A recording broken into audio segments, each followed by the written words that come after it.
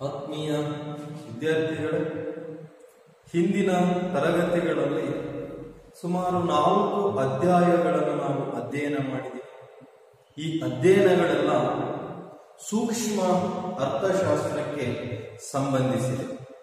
ಈಗ ಸಮಗ್ರ ಅರ್ಥಶಾಸ್ತ್ರದ ಬಗ್ಗೆ ತಿಳ್ಕೊಳ್ತೀವಿ. ನಿಮ್ಮ ಪದವಿ ಪೂರ್ವ ಶಿಕ್ಷಣ ಇಲಾಖೆಯು ದ್ವಿತೀಯ ಪಿಯುಸಿಯಲ್ಲಿ ಒಟ್ಟು ಹನ್ನೆರಡು ಚಾಪ್ಟರ್ ಇತ್ತು. ಸೂಕ್ಷ್ಮ ಅರ್ಥಶಾಸ್ತ್ರದಲ್ಲಿ ಆರು ಅಧ್ಯಾಯಗಳು, ಸಮಗ್ರ ಅರ್ಥಶಾಸ್ತ್ರದಲ್ಲಿ ಆರು ಅಧ್ಯಾಯಗಳು ಇದ್ದು, ಆ ಅಧ್ಯಾಯಗಳಲ್ಲಿ ಸೂಕ್ಷ್ಮ ಅರ್ಥಶಾಸ್ತ್ರ ಕೊನೆಯ ಎರಡು ಅಧ್ಯಾಯಗಳು, ಸಮಗ್ರ ಅರ್ಥಶಾಸ್ತ್ರದಲ್ಲಿ ಕೊನೆಯ ಅಧ್ಯಾಯ ಎರಡು ಅಧ್ಯಾಯಗಳನ್ನು ತೆಗೆದು ಒಟ್ಟು ಕೇವಲ ಎಂಟು ಅಧ್ಯಾಯಗಳನ್ನು ಮಾತ್ರ ಆ ದ್ವಿತೀಯ ಪಿಯುಸಿ ನಿಮ್ಮ ಸಿಲೆಬಸ್ ಇರುವಂತದ್ದು ಈ ಸೂಕ್ಷ್ಮ ಮತ್ತು ಸಮಗ್ರ ಅರ್ಥಶಾಸ್ತ್ರದ ಕೊನೆಯ ಎರಡೆರಡು ಚಾಪ್ಟರ್ ತಗೊಂಡಿದ್ದಾರೆ.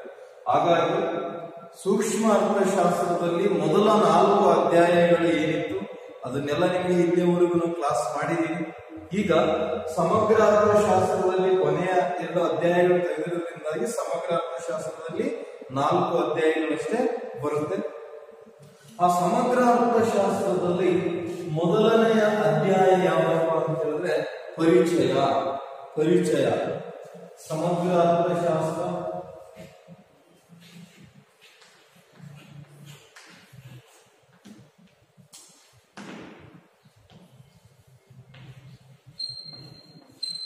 ಸಮಗ್ರ ಅರ್ಥಶಾಸ್ತ್ರ ಸಮಗ್ರ ಅರ್ಥಶಾಸ್ತ್ರದಲ್ಲಿ ಮೊದಲನೆಯ ಅಧ್ಯಾಯ ಅಧ್ಯಾಯ ಒಂದು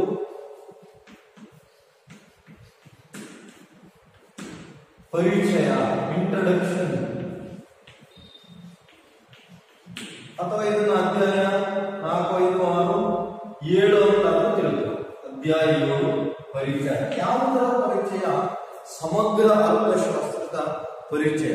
ಸಮಗ್ರ ಅರ್ಥಶಾಸ್ತ್ರದಲ್ಲಿ ಮೊದಲನೇ ಚಾಪ್ಟರ್ ಇದಾಗಿದೆ ಸಮಗ್ರ ಅರ್ಥಶಾಸ್ತ್ರವು ಸೂಕ್ಷ್ಮ ಅರ್ಥಶಾಸ್ತ್ರಕ್ಕೆ ವಿರುದ್ಧವಾದ ಸನ್ನಿವೇಶವನ್ನು ಒಳಗೊಂಡಿರುವಂತಹ ಒಂದು ಪರಿಕಲ್ಪನೆ ಆಗಿದೆ ಸಮಗ್ರ ಅರ್ಥಶಾಸ್ತ್ರ ಎಂದರೆ ಒಂದು ದೇಶದ ಹಣಕಾಸಿನ ಚಟುವಟಿಕೆಗಳನ್ನು ಅಥವಾ ಆರ್ಥಿಕ ಚಟುವಟಿಕೆಗಳನ್ನು ಸಮಗ್ರವಾಗಿ ಅಧ್ಯಯನ ಮಾಡುವಂತಹ ಶಾಸ್ತ್ರ ಸಮಗ್ರ ಅರ್ಥಶಾಸ್ತ್ರ ಆಗಿದೆ.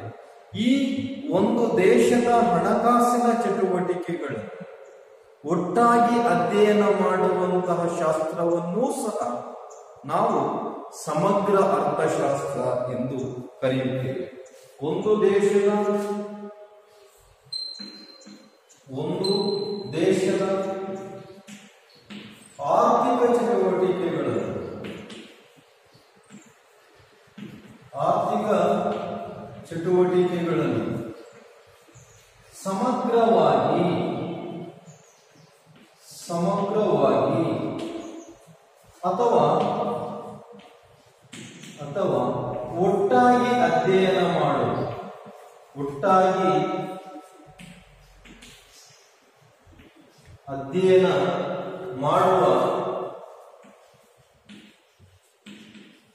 ಮಾಡುವ ಶಾಸ್ತ್ರವನ್ನು ಶಾಸ್ತ್ರವನ್ನು ನಾವು ಸಮಗ್ರ ಅರ್ಥಶಾಸ್ತ್ರ ಅಂತ ಹೇಳ್ತೀವಿ. ಸಮಗ್ರ ಅರ್ಥಶಾಸ್ತ್ರ ಅಂತ. ಅಂದ್ರೆ ಒಂದು ದೇಶದ ಹಣಕಾಸಿನ ಚಟುವಟಿಕೆಗಳು ವೈಯಕ್ತಿಕವಾಗಿ ಬಿಡಿ ಬಿಡಿಯಾಗಿ ಅಧ್ಯಯನ ಮಾಡುವುದರ ಬದಲಾಗಿ ಒಟ್ಟಾಗಿ ಸಮಗ್ರವಾಗಿ ಅಧ್ಯಯನ ಮಾಡುವಂತಹ ಶಾಸ್ತ್ರವನ್ನು ಸಮಗ್ರ ಅರ್ಥಶಾಸ್ತ್ರ ಅಂತ ಹೇಳ್ತೀವಿ ಸಮಗ್ರ ಅರ್ಥಶಾಸ್ತ್ರಕ್ಕೆ ಉದಾಹರಣೆ ಉದಾಹರಣೆ ಒಟ್ಟು ಉದ್ಯೋಗ ಉದ್ಯೋಗ ಹಣದುಬ್ಬರ ಹಣದುಬ್ಬರ ಅದೇ ರೀತಿ ರಾಷ್ಟ್ರೀಯ ಆದಾಯ.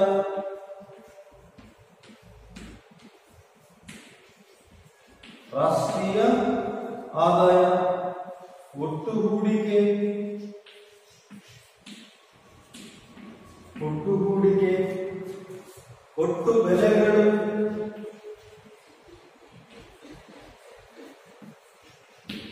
ಇತ್ಯಾದಿಗಳು ಸಮಗ್ರ ಅರ್ಥಶಾಸ್ತ್ರಕ್ಕೆ ಉದಾಹರಣೆಯಾಗಿದೆ. ಈಗ ನಾವು ಸಮಗ್ರ ಅರ್ಥಶಾಸ್ತ್ರ ಅಂದ್ರೆ ಏನು? ನೋಡಿ ಒಂದು ದೇಶದ ಎಲ್ಲಾ ಜನರ ಉದ್ಯೋಗಾವಕಾಶಗಳನ್ನು ಒಟ್ಟು ಉದ್ಯೋಗ ಅಂತ ಹೇಳ್ತೀವಿ ಸೂಕ್ಷ್ಮ ಅರ್ಥಶಾಸ್ತ್ರದಲ್ಲಿ ಒಂದು ದೇಶದಲ್ಲಿರುವ ಪ್ರತಿಯೊಬ್ಬ ವ್ಯಕ್ತಿಯ ಉದ್ಯೋಗವನ್ನು ಅಧ್ಯಯನ ಮಾಡಲಾಗಿತ್ತು. ಇಲ್ಲಿ ಇಡೀ ದೇಶದ ಜನರ ಉದ್ಯೋಗವನ್ನು ಒಮ್ಮೆಲೆ ಒಟ್ಟಾಗಿ ಅಧ್ಯಯನ ಮಾಡಲಾಗುತ್ತೆ ಹಣದುಬ್ಬರ ಹಣದುಬ್ಬರ ಅಂತ ಹೇಳಿದ್ರೆ ವಸ್ತುಗಳ ಬೆಲೆಗಳು ನಿರಂತರವಾಗಿ ಹೆಚ್ಚಾಗುತ್ತಿರುವ ಪ್ರಕ್ರಿಯೆಯನ್ನು ನಾವು ಹಣದುಬ್ಬರ ಅಂತ ಹೇಳ್ತೇವೆ. ಈ ಹಣದುಬ್ಬರವು ಸಹ ಸಮಗ್ರ ಅರ್ಥಶಾಸ್ತ್ರಕ್ಕೆ ಒಂದು ಉದಾಹರಣೆ ಆಗಿದೆ. ರಾಷ್ಟ್ರೀಯ ಆದಾಯ ಒಂದು ದೇಶದ ಆದಾಯ ಮುಂದಿನ ಚಾಪ್ಟರ್ ಅಲ್ಲಿ ಒಂದು ಚಾಪ್ಟರ್ ತಿಳ್ಕೊಳ್ತೀವಿ ಮುಂದಿನ ಕ್ಲಾಸ್ ರಾಷ್ಟ್ರೀಯ ಆದಾಯ ಒಟ್ಟು ಹೂಡಿಕೆ ಒಟ್ಟು ಬೆಲೆಗಳು ಇತ್ಯಾದಿಗಳು ಸಮಗ್ರ ಅರ್ಥಶಾಸ್ತ್ರಕ್ಕೆ ಉದಾಹರಣೆಯಾಗಿದೆ. ಹಾಗಾದ್ರೆ ಈ ಸಮಗ್ರ ಅರ್ಥಶಾಸ್ತ್ರದ ಉಗಮ ಹೇಗೆ ಸಮಗ್ರ ಅರ್ಥಶಾಸ್ತ್ರದ ಉಗಮ ಆರಿಜಿನ್ ಆಫ್ ಮ್ಯಾಕ್ರೋ ಎಕನಾಮಿಕ್ಸ್ ಅಂತ ಹೇಳಿದ್ವಿ ಇಲ್ಲಿ ಸಮಗ್ರ ಅರ್ಥಶಾಸ್ತ್ರದ ಉಗಮ ಹೇಗಾಯ್ತಪ್ಪ ಅಂತ ಹೇಳಿದ್ರೆ ಸಾವಿರದ ಒಂಬೈನೂರ ಮೂವತ್ತಾರರಲ್ಲಿ ಈ ಜೆ ಎಂ ಕೇನ್ಸ್ ಅಥವಾ ಜಾನ್ ಜೆ ಎಂ ಕೇನ್ಸ್ ರವರು ಕೇನ್ಸ್ ಒಂದು ಗ್ರಂಥವನ್ನು ಬರೆದರು. ಸಾಮಾನ್ಯ ಉದ್ಯೋಗ ಸಿದ್ಧಾಂತ ಹಣ ಮತ್ತು ಬಡ್ಡಿ ಅಂತಿದೆ the general theory of employment interest and money ಎಂಬ ಒಂದು ಗ್ರಂಥವನ್ನು ಬರೆದಿದ್ದಾರೆ. ಜೇಮ್ಸ್ ಕೇನ್ಸ್ ಅವರು ಸಾವಿರದ ಒಂಬೈನೂರ ಮೂವತ್ತಾರರಲ್ಲಿ ಸಾಮಾನ್ಯ ಉದ್ಯೋಗ ಸಿದ್ಧಾಂತ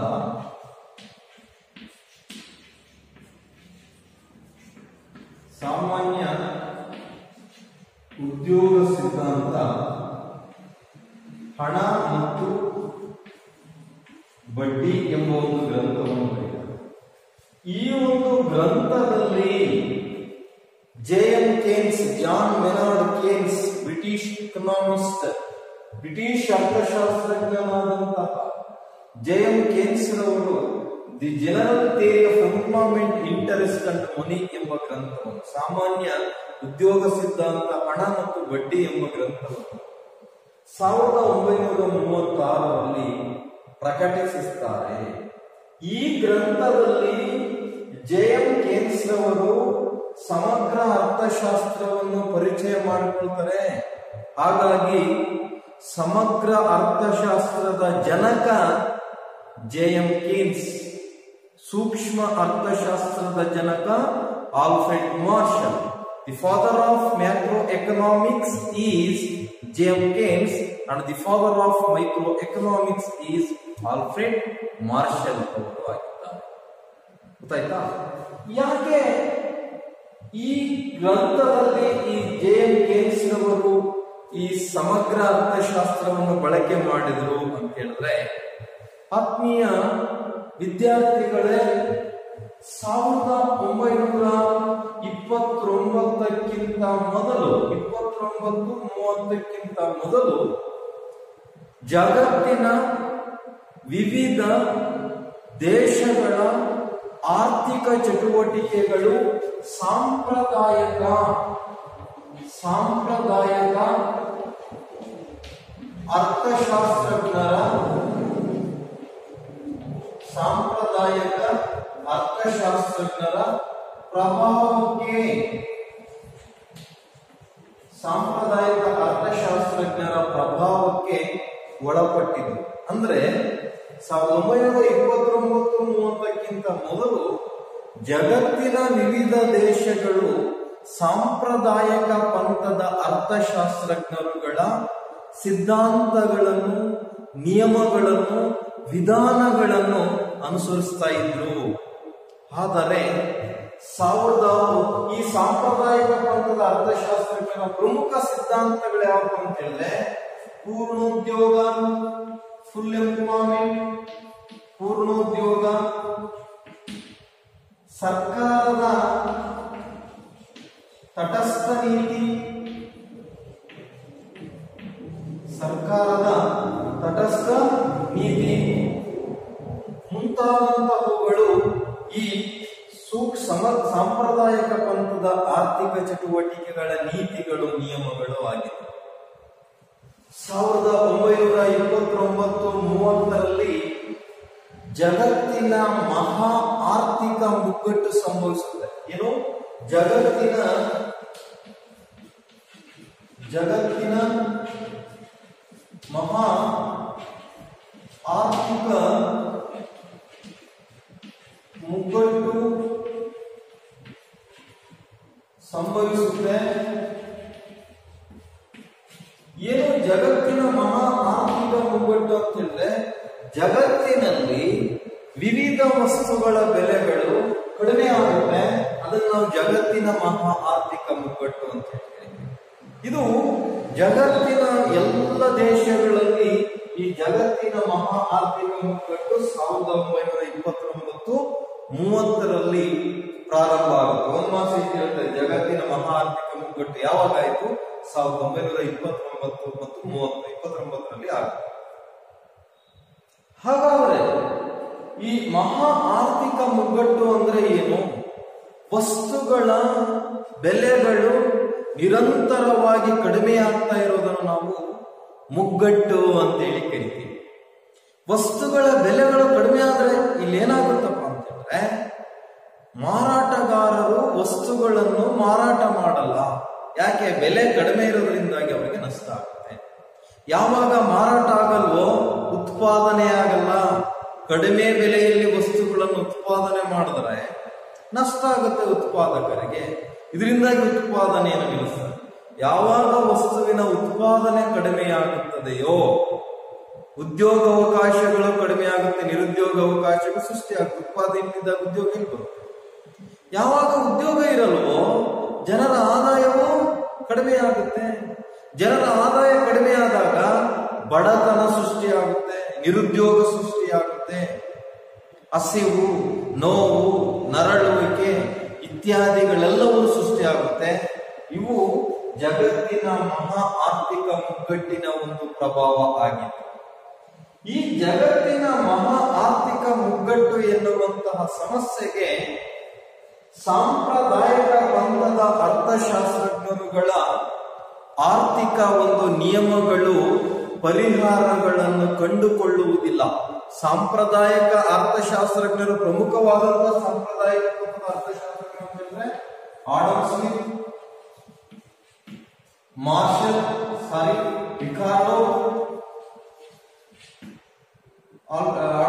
ರಿಕಾರ್ಡೋ ಇವೆಲ್ಲವೂ ಸಹ ಸಾಂಪ್ರದಾಯಿಕ ಗ್ರಂಥದ ಅರ್ಥಶಾಸ್ತ್ರಜ್ಞರು. ಆಡಮ್ ಸ್ಮಿತ್ ರವರ ಗ್ರಂಥ ಗೊತ್ತಿದೆಯಲ್ಲ ನಿಮಗೆ? ಸಾವಿರದ ಒಂಬೈನೂರ ಎಪ್ಪತ್ತಾರರಲ್ಲಿ ದಿ ವೆಲ್ತ್ ಆಫ್ ನೇಷನ್ಸ್ ರಾಷ್ಟ್ರಗಳ ಸಂಪತ್ತು ಎಂಬ ಗ್ರಂಥವನ್ನು ಬರೀತಾನೆ. ಆ ಗ್ರಂಥದಲ್ಲಿ ಸಾಂಪ್ರದಾಯಿಕ ಒಂದು ಚಟುವಟಿಕೆಗಳು ಇವುಗಳನ್ನು ಬಳಕೆ ಮಾಡ್ತಾನೆ. ಗೊತ್ತಾಯ್ತಾ? ಆದರೆ ಈ ಒಂದು ಆರ್ಥಿಕ ಮುಗ್ಗಟ್ಟು ಇವರು ಪ್ರತಿಪಾದಿಸಿದಂತಹ ಸಿದ್ಧಾಂತಗಳಿಂದ ಸಮಸ್ಯೆ ಪರಿಹಾರ ಆಗಲ್ಲ, ಆರ್ಥಿಕ ಮುಗ್ಗಟ್ಟು ನಿವಾರಣೆ ಆಗಲ್ಲ. ಆಗ ಈ ಸಮ ಸಾಂಪ್ರದಾಯಿಕ ಪಂಥದ ಅರ್ಥಶಾಸ್ತ್ರಜ್ಞರುಗಳ ಸಿದ್ಧಾಂತಗಳನ್ನು ಟೀಕಿಸಿ ಜೆ ಎಂ ಕೇನ್ಸ್ ಅವರು ಸಾಮಾನ್ಯ ಉದ್ಯೋಗ ಸಿದ್ಧಾಂತ ಹಣ ಮತ್ತು ಬಡ್ಡಿ ಎಂಬ ಗ್ರಂಥವನ್ನು ಬರೀತಾರೆ. ಸಾಂಪ್ರದಾಯಿಕ ಪಂಥದ ಅರ್ಥಶಾಸ್ತ್ರಜ್ಞರುಗಳು ಸೂಕ್ಷ್ಮ ಅರ್ಥಶಾಸ್ತ್ರವನ್ನು ಬಳಸಿದರೆ ಜೆ ಎಂ ಕೇನ್ಸ್ ರವರು ಸಮಗ್ರ ಅರ್ಥಶಾಸ್ತ್ರವನ್ನು ಬಳಕೆ ಮಾಡ್ತಾರೆ. ಈ ಸಮಗ್ರ ಅರ್ಥಶಾಸ್ತ್ರವನ್ನು ಇದನ್ನ ಬಳಕೆ ಮಾಡೋದ್ರಿಂದಾಗಿ ಈ ಗ್ರಂಥದಲ್ಲಿರುವಂತಹ ನಿಯಮಗಳಿಂದ, ಸಿದ್ಧಾಂತಗಳಿಂದ ಜಗತ್ತಿನ ಮಹಾ ಆರ್ಥಿಕ ಮುಗ್ಗಟ್ಟು ಎನ್ನುವುದು ನಿವಾರಣೆಯಾಗುತ್ತದೆ. ಆಗ ಸಾಂಪ್ರದಾಯಿಕ ಪಂಥದ ಆರ್ಥಿಕ ಚಟುವಟಿಕೆಗಳು ಮುಕ್ತಾಯವಾಗಿ ಆಧುನಿಕ ಪಂಥದ ಅರ್ಥಶಾಸ್ತ್ರಜ್ಞರುಗಳು ಜಾರಿಗೆ ತಂದಂತಹ ಆರ್ಥಿಕ ಸಿದ್ಧಾಂತಗಳು ಪ್ರಚಲಿತವಾಗಿ ಬರ್ತಾ ಹೋಗುತ್ತೆ. ಆಗ ಸಮಗ್ರ ಅರ್ಥಶಾಸ್ತ್ರ ಉಗಮ ಆಗ್ತಾ ಹೋಗುತ್ತೆ. ಸಾಂಪ್ರದಾಯಿಕ ಆರ್ಥಿಕ ಚಟುವಟಿಕೆಗಳು ನಿಂತು ಹೋಗುತ್ತೆ. ಹಾಗಾದ್ರೆ ಈ ಪ್ರಮುಖ ಸಾಂಪ್ರದಾಯಿಕ ಪಂಥದ ಯಾವ ಯಾವಾಗ ಜಾರಿಗೆ ತಂದು ಇಲ್ಲಿ ರಾಷ್ಟ್ರೀಯ ಆದಾಯ ಹಣದುಬ್ಬರ, ಬಡತನ ಮತ್ತು ನಿರುದ್ಯೋಗ. ಅದೇ ರೀತಿ ವಿದೇಶಿ ವ್ಯಾಪಾರ ವಿದೇಶಿ ವ್ಯಾಪಾರ.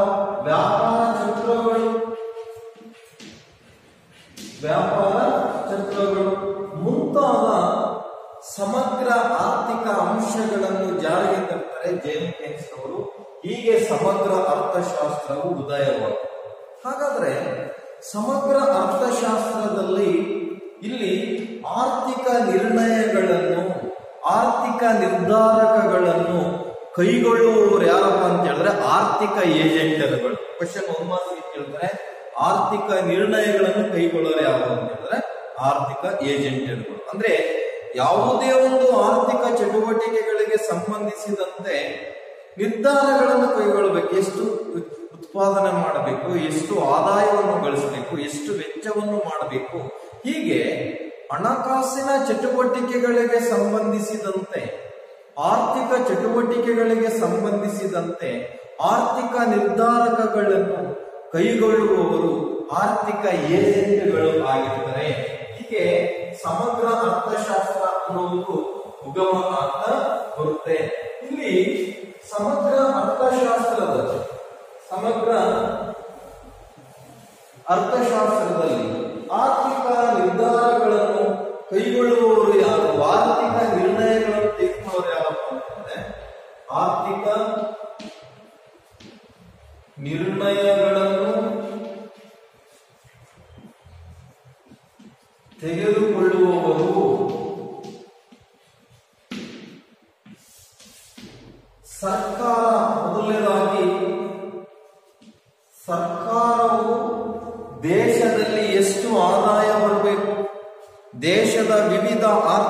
ಚಟುವಟಿಕೆಗಳಿಗೆ ಎಷ್ಟು ವೆಚ್ಚ ಮಾಡಬೇಕು?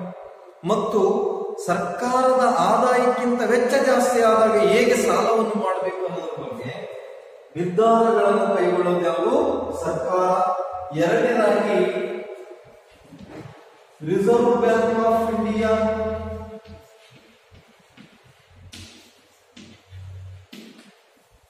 Reserve Bank of India ಇದನ್ನು ನಾವು ಆರ್ ಬಿ ಐ ಅಂತ ಹೇಳ್ತೀವಿ. ಮೂರನೇದಾಗಿ ಭಾರತೀಯ ಷೇರು ವಿಕ್ರಯ ವಿನಿಮಯ ಮಂಡಳಿ. ಇದನ್ನ ಸೆಬಿ ಅಂತ ಹೇಳ್ತೀವಿ. Security exchange board of India. ಅದೇ ರೀತಿ ನಾಲ್ಕನೇದಾಗಿ ಆರ್ಥಿಕ ನಿರ್ಣಯಗಳನ್ನು ಕೈಗೊಳ್ಳುವಂತಹ ಇತರೆ ಕೆಲವೊಂದು ಸಂವಿಧಾನಾತ್ಮಕ ಸಂಸ್ಥೆಗಳು. ಇತರೆ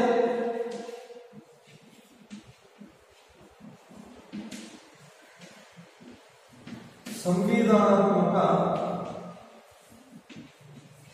ಸಂಸ್ಥೆಗಳು ದೇಶದಲ್ಲಿ ಆರ್ಥಿಕ ನಿರ್ಣಯಗಳನ್ನು ಕೈಗೊಳ್ಳುತ್ತೆ. ನೋಡ್ರಿ ರಿಸರ್ವ್ ಬ್ಯಾಂಕ್ ಆಫ್ ಇಂಡಿಯಾ ದೇಶದಲ್ಲಿ ಹಣಕಾಸಿನ ಚಟುವಟಿಕೆಗಳ ಬಗ್ಗೆ ನಿರ್ಣಯಗಳನ್ನು ಕೈಗೊಂಡ್ರೆ ಭಾರತೀಯ ಷೇರು ವಿಕ್ರಯ ವಿನಿಮಯ ಮಂಡಳಿ ಏನಿದೆ? ಇದು ದೇಶದಲ್ಲಿ ಷೇರು ವಿನಿಮಯದ ಬಗ್ಗೆ, ಷೇರು ವ್ಯವಹಾರಗಳ ಬಗ್ಗೆ ನಿರ್ಣಯಗಳನ್ನು ಕೈಗೊಳ್ಳುತ್ತೆ.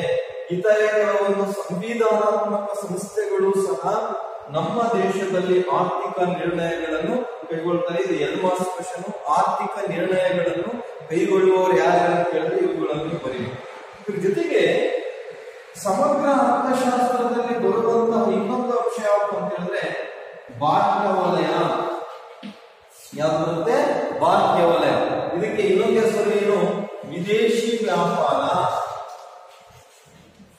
ವಿದೇಶಿ ವ್ಯಾಪಾರ ಅಂತ ಹೇಳಿ ಸಮಗ್ರ ಅರ್ಥಶಾಸ್ತ್ರದ ಪ್ರಮುಖವಾದಂತಹ ಅಂಶ ಏನಪ್ಪಾ ಅಂತ ಹೇಳಿದ್ರೆ, ವಿದೇಶಿ ವ್ಯಾಪಾರ ಅಥವಾ ಬಾಹ್ಯ ವಲಯ ಆಗಿದೆ. ಇಲ್ಲಿ ವ್ಯಾಪಾರ ಎಂದರೆ ಒಂದು ಸರಕು ಮತ್ತು ಸೇವೆಗಳು ಜನರ ಮಾರಾಟಗಾರರ ಮತ್ತು ಕೊಳ್ಳುವವರ ನಡುವೆ ವಿನಿಮಯ ಆಗುವಂತ ಗೊತ್ತಾಯ್ತಾ? ಹಾಗಾದ್ರೆ ಈ ವಿದೇಶಿ ವ್ಯಾಪಾರ ಅಂದ್ರೆ ಒಂದು ದೇಶವು ಜಗತ್ತಿನ ಇತರೆ ದೇಶಗಳೊಂದಿಗೆ ವ್ಯಾಪಾರ ವ್ಯವಹಾರಗಳನ್ನು ನಡೆಸುವುದು ವಿದೇಶಿ ವ್ಯಾಪಾರ ಆಗಿರುತ್ತದೆ. ದೇಶ ಜಗತ್ತಿನ ಬೇರೆ ದೇಶಗಳಿಗೆ ವಸ್ತುಗಳನ್ನು ಮಾರಾಟ ಮಾಡುತ್ತೆ, ಬೇರೆ ದೇಶಗಳಿಂದ ವಸ್ತುಗಳನ್ನು ಕೊಂಡುಕೊಳ್ಳುತ್ತೆ.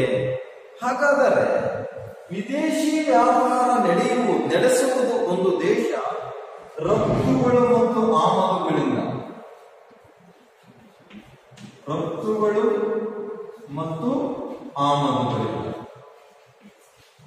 ನೋಡ್ರಿ, ರಫ್ತುಗಳು ಅಂತ ಹೇಳಿದ್ರೆ ಒಂದು ದೇಶ ಜಗತ್ತಿನ ಬೇರೊಂದು ದೇಶಕ್ಕೆ ವಸ್ತುಗಳನ್ನು ಮಾರಾಟ ಮಾಡ ಮಾಡಿದರೆ, ಸೇವೆಗಳನ್ನು ಮಾರಾಟ ಮಾಡಿದರೆ ಅದರ ರಫ್ತುಗಳು ಅಂತ ಒಂದು ದೇಶ ಜಗತ್ತಿನ ಬೇರೆ ದೇಶಗಳಿಂದ, ವಿವಿಧ ದೇಶಗಳಿಂದ ವಸ್ತುಗಳನ್ನು ಕೊಂಡುಕೊಂಡ್ರೆ ಅದನ್ನ ಏನಂತ ಹೇಳಿ ಕರಿತೀವಿ ನಾವು ಆಮದುಗಳು ಅಂತ ಹೇಳಿ ಕರಿತೀವಿ. ಈ ರಫ್ತು ಮತ್ತು ಆಮದುಗಳನ್ನು ನಾವು ಪ್ರಮುಖವಾಗಿ ವಿದೇಶಿ ವ್ಯಾಪಾರದಲ್ಲಿ ನಾವು ನೋಡ್ತಾ ಹೋಗ್ತೀವಿ. ಹಾಗಾದ್ರೆ ಇಲ್ಲಿ ಒಂದು ಪ್ರಮುಖವಾದಂತಹ ಅಂಶ ಇದೆ. ಏನಪ್ಪಾ ಅಂತ ಹೇಳಿದ್ರೆ, ಸೂಕ್ಷ್ಮ ಅರ್ಥಶಾಸ್ತ್ರ ಮತ್ತು ಸಮಗ್ರ ಅರ್ಥಶಾಸ್ತ್ರದ ನಡುವೆ ಇರುವಂತಹ ವ್ಯತ್ಯಾಸಗಳೇನು ಅನ್ನೋದ್ರ ಬಗ್ಗೆ ನಾವು ಇಲ್ಲಿ ತಿಳ್ಕೊಳ್ತೀವಿ. ಸೂಕ್ಷ್ಮ ಅಂತ ಕ್ವಶನ್ ಕೇಳಿದರೆ ನಾಲ್ಕು ಮಾಸ್ಗೆ ಫೋರ್ ಮಾಸ್ಗೆ ಸೂಕ್ಷ್ಮ ಅರ್ಥಶಾಸ್ತ್ರವು ಸಾರಿ ಸಮಗ್ರ ಅರ್ಥಶಾಸ್ತ್ರವು ಸೂಕ್ಷ್ಮ ಅರ್ಥಶಾಸ್ತ್ರಕ್ಕಿಂತ ಹೇಗೆ ಭಿನ್ನವಾಗಿದೆ? ಸಮಗ್ರ ಅರ್ಥಶಾಸ್ತ್ರವು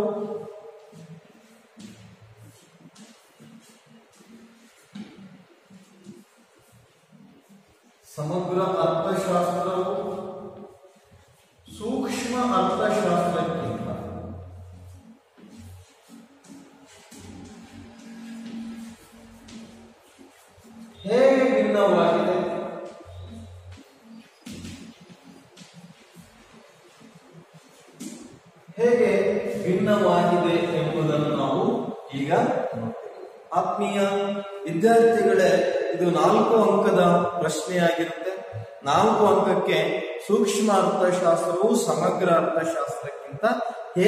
ಭಿನ್ನವಾಗಿದೆ ಅಂತ ಹೇಳಿ ಪ್ರಶ್ನೆಯನ್ನು ಕೇಳ್ತಾರೆ.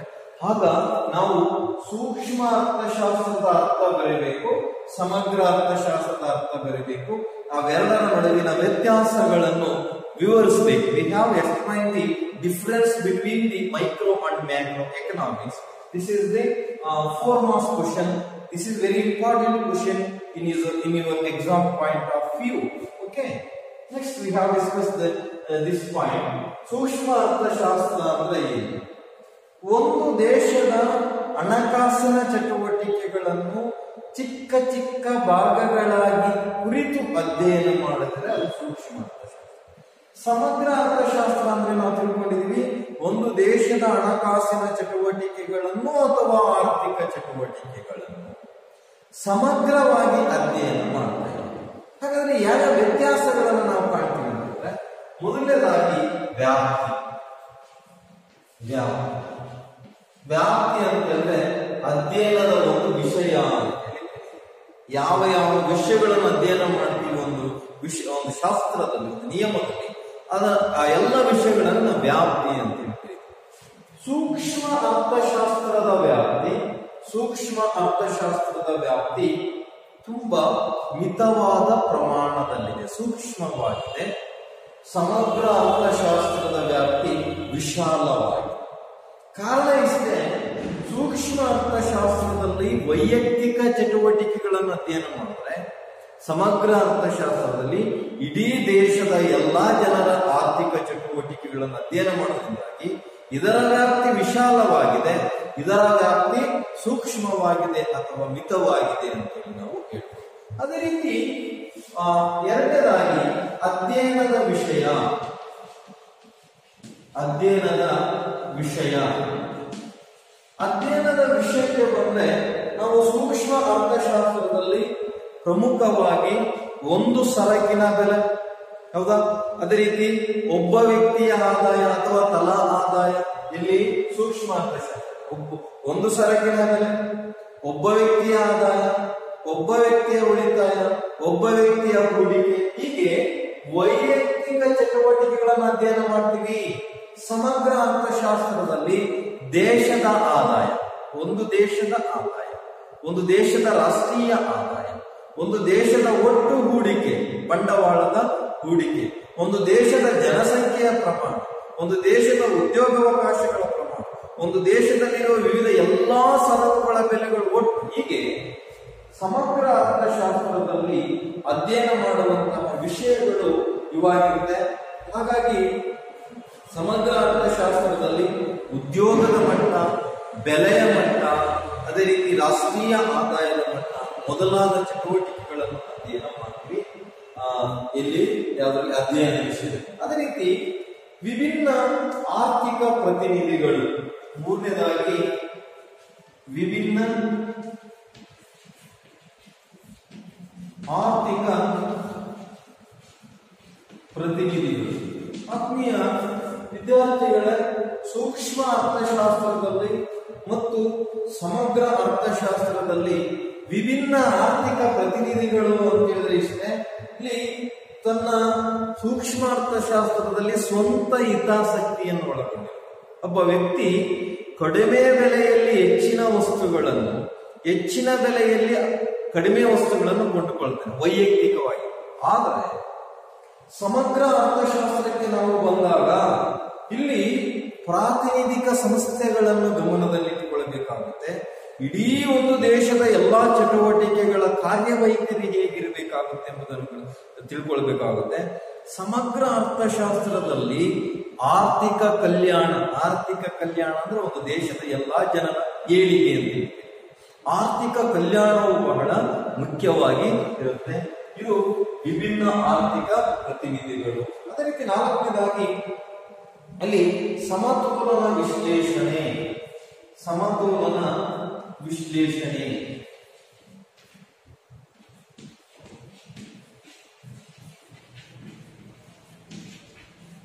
ಸಮತೋಲನ ವಿಶ್ಲೇಷಣೆ ಅಂದ್ರೆ ಸೂಕ್ಷ್ಮ ಅರ್ಥಶಾಸ್ತ್ರದಲ್ಲಿ ಭಾಗಶಃ ಸಮತೋಲನವನ್ನು ಅಧ್ಯಯನ ಮಾಡಿದರೆ ಸಮಗ್ರ ಅರ್ಥಶಾಸ್ತ್ರದಲ್ಲಿ ಸಾಮಾನ್ಯ ಸಮತೋಲನವನ್ನು ಅಧ್ಯಯನ ಮಾಡ್ತೀವಿ ಸೂಕ್ಷ್ಮ ಅರ್ಥಶಾಸ್ತ್ರದಲ್ಲಿ ಅವರು ಭಾಗಶಃ ಅಧ್ಯಯನ.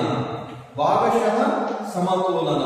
ಯಾವುದು? ಸೂಕ್ಷ್ಮ ಅರ್ಥಶಾಸ್ತ್ರದಲ್ಲಿ. ಸಮಗ್ರ ಅರ್ಥಶಾಸ್ತ್ರದಲ್ಲಿ ಸಾಮಾನ್ಯ ಸಮತೋಲನ.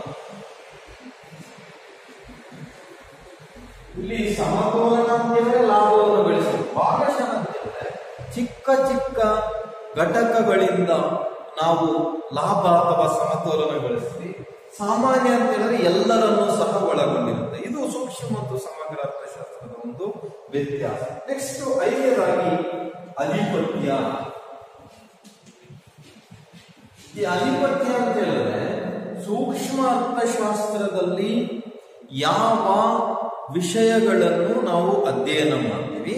ಸಮಗ್ರ ಅರ್ಥಶಾಸ್ತ್ರದಲ್ಲಿ ಯಾವ ವಿಷಯಗಳನ್ನು ಅಧ್ಯಯನ ಮಾಡ್ತೀವಿ ಎಂಬುದನ್ನು ತಿಳ್ಕೊಳ್ಳೋದಾದ್ರೆ, ನೋಡ್ರಿ, ಸೂಕ್ಷ್ಮ ಅರ್ಥಶಾಸ್ತ್ರದಲ್ಲಿ ಅನುಭೋಗಿ ವರ್ತನಾ ಸಿದ್ಧಾಂತ,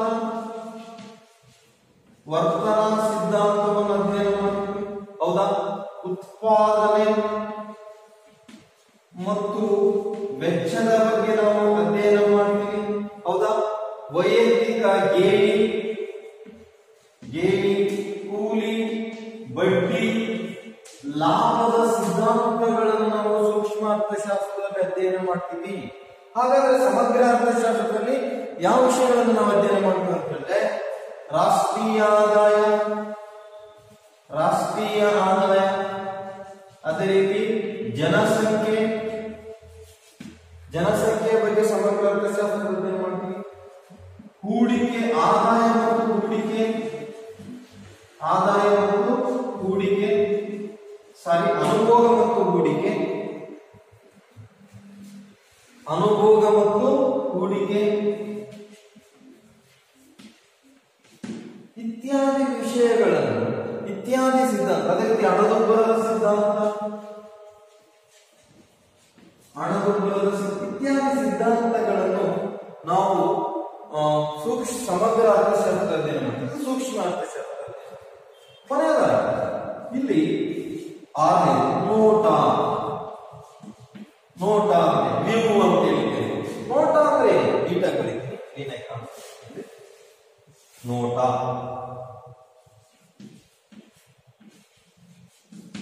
ಇಲ್ಲಿ ಸೂಕ್ಷ್ಮ ಅರ್ಥಶಾಸ್ತ್ರವು ಸೂಕ್ಷ್ಮ ನೋಟವನ್ನು ಒಳಗೊಂಡಿದೆ. ಸೂಕ್ಷ್ಮ ಅರ್ಥಶಾಸ್ತ್ರವು ಎಂತಹ ನೋಟವನ್ನು ಒಳಗೊಂಡಿದೆ? ಸೂಕ್ಷ್ಮ ನೋಟವನ್ನು ಒಳಗೊಂಡಿದೆ. ಸೂಕ್ಷ್ಮ ನೋಟ ಅಂತ ಹೇಳಿದ್ರೆ ಒಬ್ಬ ವ್ಯಕ್ತಿ ಮಾತ್ರ ತಿಳ್ಕೊಳ್ತೀವಿ. ಸಮಗ್ರ ಅರ್ಥಶಾಸ್ತ್ರದಲ್ಲಿ ಪಕ್ಷಿ ನೋಟವನ್ನು ಒಳಗೊಂಡಿದೆ ಪಕ್ಷಿ ನೋಟ ಪಕ್ಷಿ ನೋಟ ಅಂದ್ರೆ ಗೊತ್ತಿದೆಯಲ್ಲ? ಎಲ್ಲ ನೋಡೋದು ಪಕ್ಷಿ. ಹೌದಾ? ಅದು ಪಕ್ಷಿ ನೋಟ. ಅಂದ್ರೆ ಎಲ್ಲದನ್ನು ಅಧ್ಯಯನ ಮಾಡಲಾಗುತ್ತೆ ಸಮಗ್ರ ಅರ್ಥಶಾಸ್ತ್ರದಲ್ಲಿ.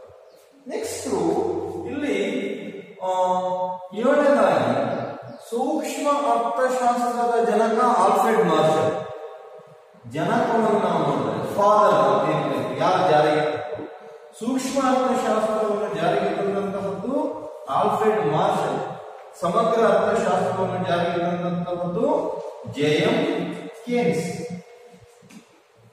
Alfred Marshall ಅವರ the principles of political economy ಎಂಬ ಗ್ರಂಥದಲ್ಲಿ ಸೂಕ್ಷ್ಮ ಅರ್ಥಶಾಸ್ತ್ರದ ಬಗ್ಗೆ ಅವರು ಜಾರಿಗೆ ತಂದ್ರೆ ಜೇಮ್ ಕೇನ್ಸ್ ರವರು the general theory of employment interest and money ಎಂಬ ಗ್ರಂಥದಲ್ಲಿ ಸಮಗ್ರ ಅರ್ಥಶಾಸ್ತ್ರವನ್ನು ಜಾರಿಗೆ ಇಷ್ಟು ಸೂಕ್ಷ್ಮ ಅರ್ಥಶಾಸ್ತ್ರ ಮತ್ತು ಸಮಗ್ರ ಅರ್ಥಶಾಸ್ತ್ರದ ಬಗ್ಗೆ ಇರುವಂತ ನಾನು ಮುಂದಿನ ತರಗತಿ ಇದು ಸಣ್ಣ ಚಾಪ್ಟರ್ ಇದು ಬಹಳ ಚಿಕ್ಕ ಚಾಪ್ಟರ್ ನೆಕ್ಸ್ಟ್ ಕ್ಲಾಸ್ಗೆ ಈ ಚಾಪ್ಟರ್ ಕಂಪ್ಲೀಟ್ ಆಗುತ್ತೆ.